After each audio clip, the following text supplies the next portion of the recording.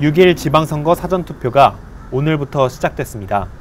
사전투표는 내일까지 이틀간 진행되며 전국 3,500여 곳에 마련된 사전투표소에서 투표할 수 있습니다. 사전투표에 참여하려는 유권자들은 별도의 신고 없이 신분증만 있으면 사전투표할 수 있습니다.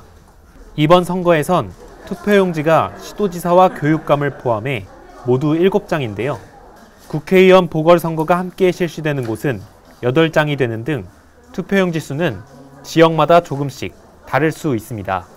알고 있었고요. 어차피 오늘 강의 들으러 갔다 오는 길에 예, 참여하게 되었습니다. 대통령을 뽑는 것 못지않게 지역 일꾼을 뽑는 게 나라 살림을 맡기는 일이니까 반드시 참여해서 그 지역 살림이 잘 돌아갈 수 있도록 예, 한 표를 행사했으면 좋겠습니다. 금요일, 토요일 사전 투표라서 왔어요. 저 지금 임신 중이라서 아기 낳으러 가야 돼가지고 본 투표 날. 지역 살림 위해서 저희 꼭 투표 참여해 주시면 좋겠습니다. 코로나19 확진자도 사전투표에 참여할 수 있는데요.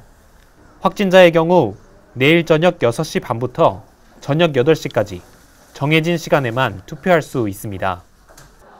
지난 대선에서 박원희 투표로 논란이 됐던 확진자용 임시 기표소는 운영하지 않습니다.